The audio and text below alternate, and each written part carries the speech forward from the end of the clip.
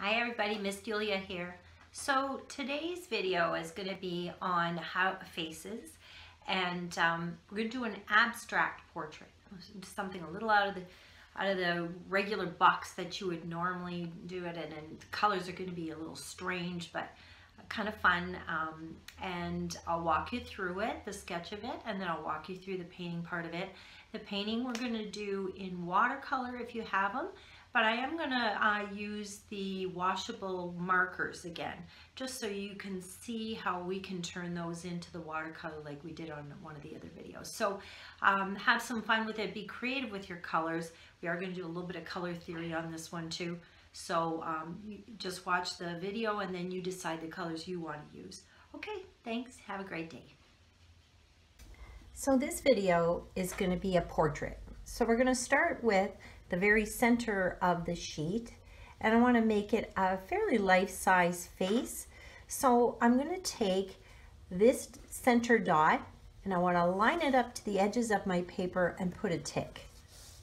That way I know where the middle is my paper, but I don't want to put a line in there. What I want to do is go a finger below that, and I'm going to take out the original dot, get it out of our way, and I'm going to draw a curved line dipping down to that dot because the head is going to be looking down in this piece. So I want to show how it changes your dimensions of the measurements of the face a little differently than we did in a previous one. So now we have um, the center dot. On each side of the center dot, your, your eye is approximately two fingers wide, which um, is the width of a, a natural eye. So I'm going to take the width of an eye, which is two fingers, and I'm going to put a dot on each side and take out the original dot. So then I'm going to go two fingers over here, that's one eye, two fingers over here, that's another eye, with an eye space in between. Then I'm going to take out the original line to get that out of our way, leaving the ticks so that I know where the two eyes are going to be. So when you're looking down, it doesn't change the width of your face, it changes the length of your face. So obviously when you're looking down, your whole face shortens because you're going to see more top of your head. So I'm going to draw a curved line here, curved line here.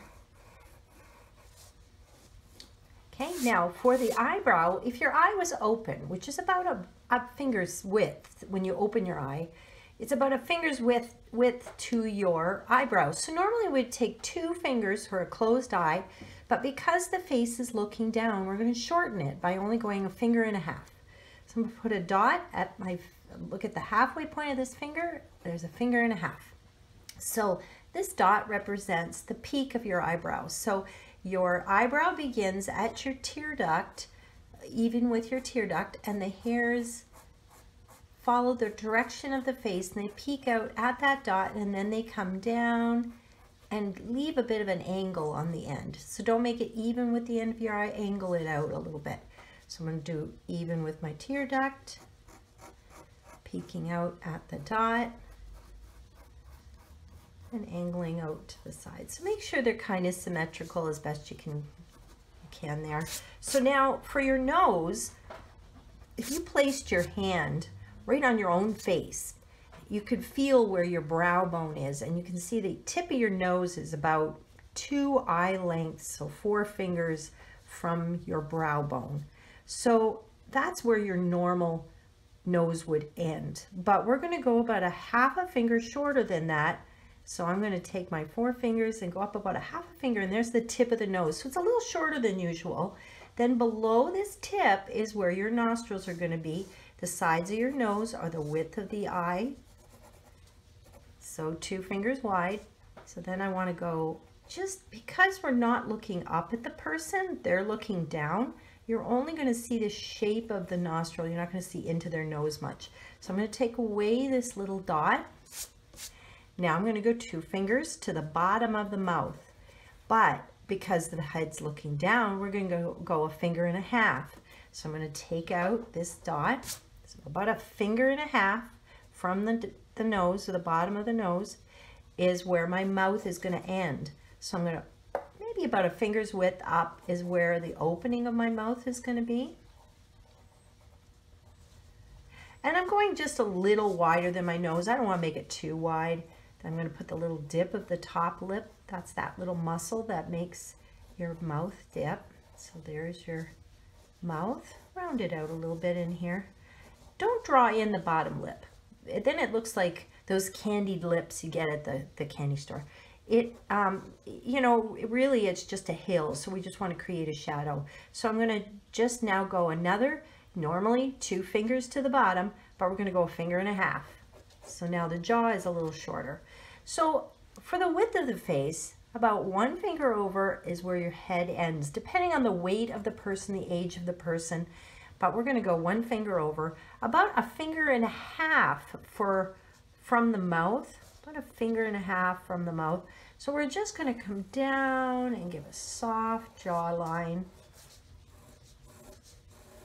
So this picture is kind of a realistic picture at this point, but we're going to make it abstract in the way that we color it. And then we're going to go kind of outside the box. So we're going to do a little bit of color theory on this. So you, what you want to do is you want to pick color opposites. So the color opposite to purple is yellow. So I'm going to start with yellow.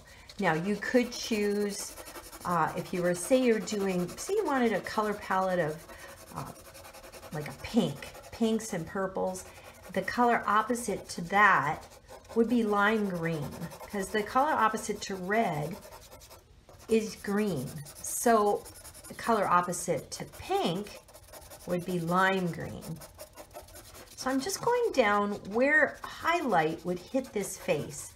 So more down the center where the height of your face is. So think of a, a curve. Your face is curved, so your your eye um, eyelids would be catching light a little more than under the eye. The tip of your nose would be catching a little more light down the center of your nose, the center of your chin, the high points of your cheek.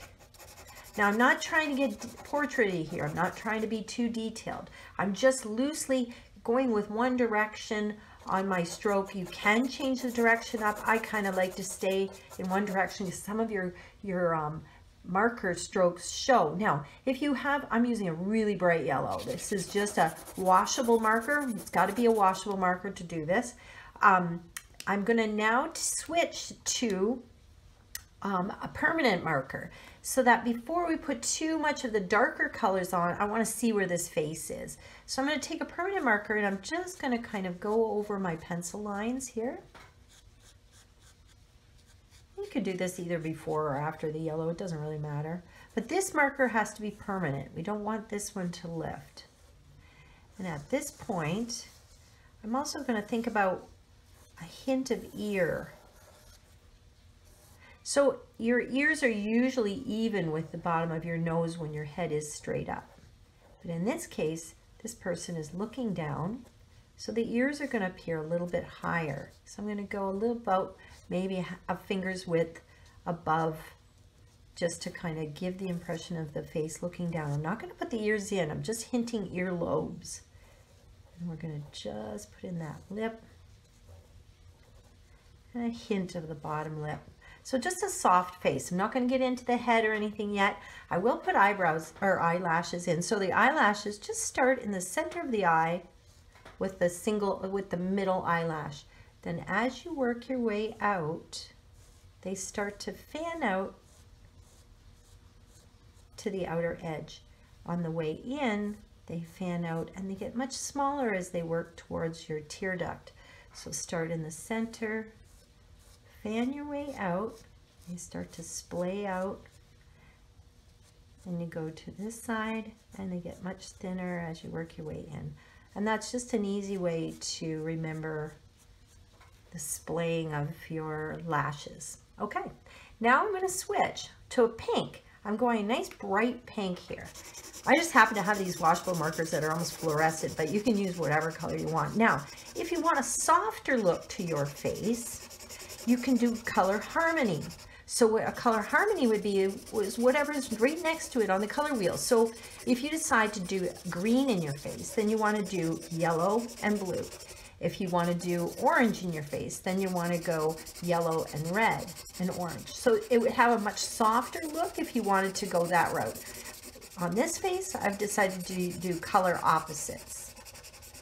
Color opposites is whatever's directly across from the face or directly across from the color that you chose on your color wheel. So um, I'm just going to put this on here. Now I'm going to darken it up. I'm going to put purple. So there's our purple. So I put this kind of orangey shade next to my yellow. There's this pinky shade next to my yellow because I want to enhance the, the warmth of the face by putting my warm colors on the face and my cool colors in the background to make the background recede and be not as important as the face. But there are some key shadow spots that we want to kind of focus in on. Now, if you want to hint a bit of a neck in here, this neck could be disappearing into the background. What I'm going to do is kind of hint with my jawline a little bit darker area. I want to have a little bit of shadow on that neck below the jaw. I'm to put a little bit on the tip of my nose, just a bit of shadow here. Little shadow on the top lip because your top lip doesn't catch the light as much. And a little bit of shadow right below the lip. And I'm just going to dust a bit of this purple into the eye area so it almost opens the eye up a little bit. Like the person's looking down their eyes aren't exactly closed. I'm to put a little bit into the eyebrow. Okay now what we're going to do is we're going to take a wash brush. And it's important to start with your lighter colors first because you will drag color into it. So if you have watercolor pencils, you could do this with the watercolor pencils as well. Um, some of you guys have the watercolor pencil sets at home, but um, the washable markers are much more of a vibrant look to it. So you're going to get a softer look with the watercolor pencils and the watercolor, it's just whatever colors you decide, go go nuts with that. You know, be nice and bright with your colors. This is a little bit outside the box, this picture. Obviously, this, you know, a human doesn't have a bright yellow, bright orange, bright purple face. So I'm gonna um, I'm kind of using these exaggerated colors just to just to do exactly that make this a little more um, of an abstract piece where you're you're kind of taking realism to another level you're just you know, you could keep building on this with flesh tones and have these amazing underpainting. This could be considered an underpainting to a realistic picture. But we're, we're going to stop at the abstract part of it because it, it's interesting and it, it has a lot of movement to it. It allows your imagination to kind of go crazy when you're looking at it. So I'm going to just kind of put this, I'm dragging some of this purple into the face to kind of give the impression that hair could be shading her face. I'm working it into the sides of her cheek, just kind of loosely. Don't try to be perfect with this. I'm just gonna keep moving this. It's very cool look to it. It just looks like her face is emerging. I drag a bit of this pinky purple down the sides of her nose because your nose is a hill. You don't want to put lines there though. You want to keep them soft. It's a little more realistic to have it soft. A little bit on the so we really don't want any of the white of the paper to be left behind.